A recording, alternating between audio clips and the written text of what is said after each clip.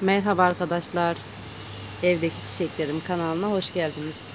Bugün bu güzel sardunyayı nasıl çoğaltılır, nasıl ekeriz onu anlatacağım sizlere arkadaşlar.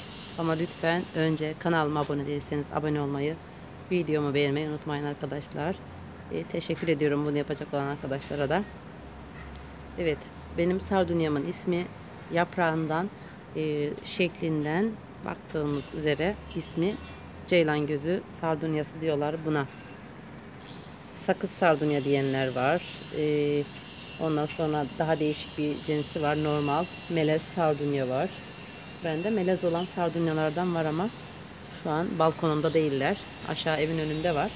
Bir cinsim var şurada. Bir de onu göstereceğim size. Şu şekil. Evet. Yaprakları bu şekilde. Çok hoş. Nasıl açacağını da bunun merak ediyorum. Bu daha yeni. Yaprakları bu şekilde bunun da. Evet. Sardunya e, kolay yetişen bir çiçek. Ektikten sonra tutması kolay. E, çelikten çoğaltmayı anlatacağım size arkadaşlar. E, koparıp dalından kesip bardakta ıslayanlar var. E, hemen eken ve bekletenler var. Ben daha değişik bir şekilde ekiyorum. Şimdi size nasıl ekip nasıl çoğaltacağımızı anlatacağım arkadaşlar. Evet, sardunya hakkında da kısaca bir şöyle bir özet geçmek istiyorum. Sıcağı seviyor arkadaşlar. Yani sıcaktan rahatsız olan bir çiçek değil. Yaklaşık yazın 40'ın üzerine e, çıkan bir güneşimiz ve sıcağımız var bizim burada. Ama sardunya hiçbir şekilde ondan etkilenmiyor arkadaşlar. Yani o sıcaklarda 2 gün 3 gün üst üste sulanmadığı halde bir kuruma ya da yapraklarını dökme gibi bir sakıncası ya da bir hastalığı derdi olmuyor arkadaşlar. O nedenle herkes sardunya ekebilir. Kolayca bakımını yapabilir arkadaşlar. Haftada iki defa yazın sulamamız bile yeterli olabiliyor. Ama normalde yazın sıcaklarda gün aşırı sulamamız gerekiyor. Daha yeşil ve daha hızlı saksısını doldursun istiyorsak iki güne bir ya da gün aşırı sulamamız yeterlidir. Tabii ki saksısının altı drenajı e, bol olacak. Suladığınız mı devisi güne toprak nemini çekip kuruyorsa bunu yaparız. Kurumuyorsa hemencecik sulayamayız buna. Toprak suyunu çekip nemini çekmesini bekleyeceğiz arkadaşlar. Evet. Şimdi sardunyayı nasıl çoğaltacağız onu anlatacağım.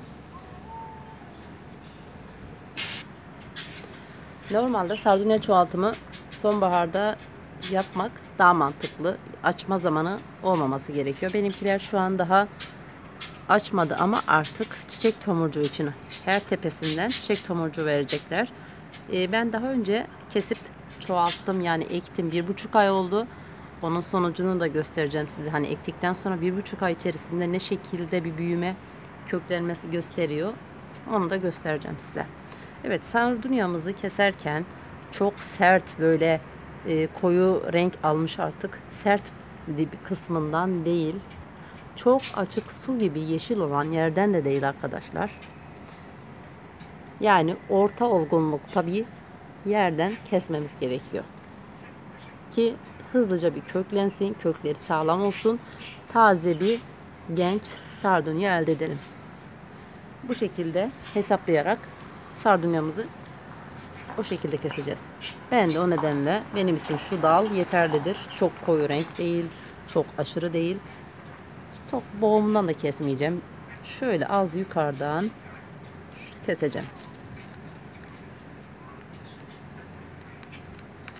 Evet.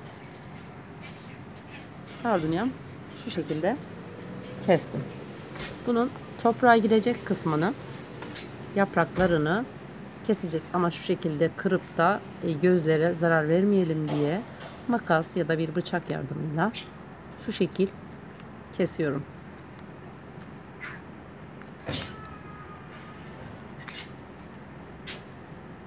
Buna çelik yöntemiyle çoğaltmak diyor. Suda ıslayıp bekletmenize hiç gerek yok sardunyayı. Bu şekilde yapıp yaptıktan sonra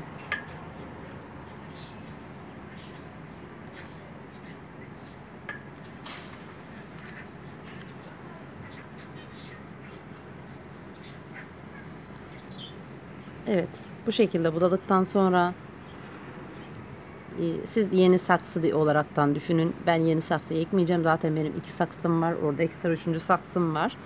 Ama şu şekil benim de artık gördüğünüz gibi sardunyalarım yaşlı bir sardunya olduğu için artık buralarında bakın yaprak yok. Uç kısımlarında var. Bu sardunyamın artık yaşlanmış olduğunu gösteriyor. Kırdığım daldan da yeni filizlerimiz var. Eğer sizin sardunyada bu şekilde e, bedeninde yapraklar yoktursa, olmuyorsa artık yaşlanmıştır. Tazelenmeye ihtiyacı var. Benim gibi değil de kıyabiliyorsanız tabii ki ben de yapacağım bunu 1-2 yıl içerisinde ama ilerideki durumuna bakacağım. Yaprakları çok sararıyorsa daha fazla yazın sıcaklarda çok çiçek açmıyorsa yapacağımız bunu buralardan şu şekilde toprağa yakın yerlerden kesip yeni topraktan filizler verecek. Bunu sonbaharda yaparsanız daha uygundur arkadaşlar. Evet, bu şekilde bunu şu şekil o yapraklarını kestiğim yere kadar toprağa gömüyorum. Hemen de iyice dibini bastırıyorum. Hava almasın diye. Bugün sulamayabilirsiniz bunu. Toprağa bir alışsın. İlk ektiğiniz gün değil, devisi gün suyunu verin. Daha sağlıklı olacak. Daha iyi bir şekilde tutacaktır arkadaşlar. Evet, bu şekilde ekimini tamamlamış olduk. Devisi günde yani ektiğimiz gün değil bir sonraki gün sulamasını yaparsak daha sağlıklı olacak. Benim bir buçuk ay oldu ekmiş olduklarım var. Şimdi size onların ne halde olduğunu göstereceğim arkadaşlar. Şöyle bir saksının içerisinde şöyle bir saksıdalar. Bu balkon askılı olan bir saksı. Söktüm onu. Şu şekilde sandalyenin üzerine bırakayım. Evet. Bunlar yaklaşık bir buçuk ay oldu. Kışındı. Sardunyayı budarken tazelesin diye o an niyetimle kesmiş, ekmiş olduklarım. Ee, bunlar köklenmiş mi bir buçuk ayda ne durumda ona bakacağız arkadaşlar. Bunlar üç taneydi. Bir tanesinde şurada e, saksıda var. Oraya ektim arkadaşlar. Çekeceğim bunları şimdi. Kökleri var diye tahmin ediyorum. Evet. Bakın. Bir tanesi bunu e, deminki anlattığım gibi değil. Sadece budama niyetiyle kesmiş ve ekmiş olduğum bunlar. Bir buçuk ayda edilmiş olduğu kök saçak bu şekilde arkadaşlar. Yani sardunya çoğaltması oldukça basit. Çiçekten tohumundan yetiştirenler de var ama yani onlar çok uzun sürecektir çiçekten e, onu hepsinin çiçeği tutmaya da biliyor çünkü bunlar e, artık değişti her şey çiçekten aldığın tohum tutması biraz zor o nedenle elinizde olan çiçekleri bu şekilde çoğaltmak daha mantıklı. Evet benim sardunyam bu şekilde tuttu. Artık ben bunları buradan alıp yeni saksılarına ekebilirim ama benim ihtiyacım yok artık. Bunlara oldukça var. Komşularıma isteyen olan arkadaşlara vereceğim bunları ben. Bahçelerine ekebilirler. Tekrardan buraya ekeceğim bunları şekil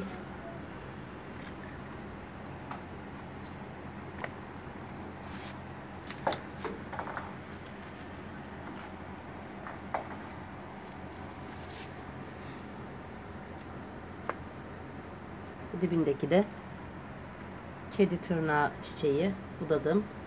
Yazın çok güzel açar.